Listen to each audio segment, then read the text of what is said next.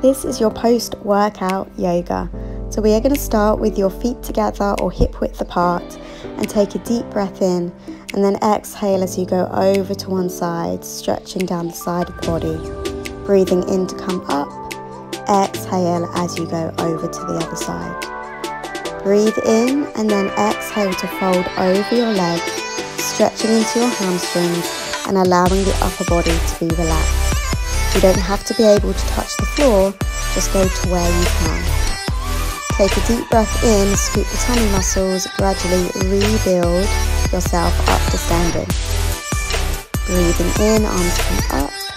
And let's step the feet wide, taking the arms out to the side.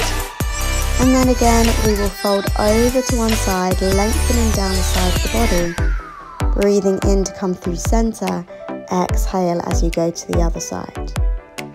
Breathe in and then exhale to fold forwards over your legs.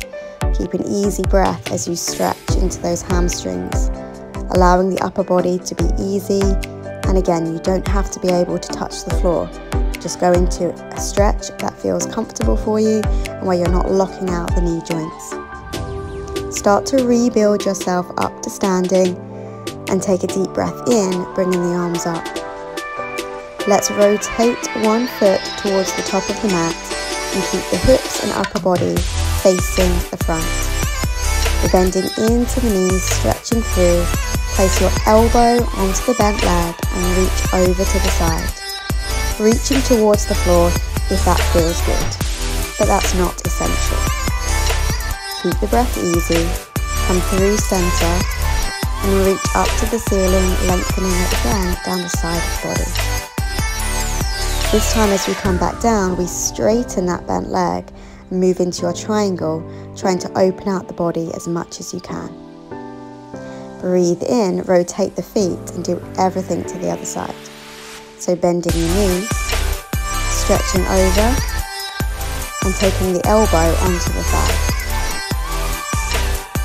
Again, you can take the hand down towards the floor or you can keep the elbow onto the thigh, opening out the body to the front as much as you can.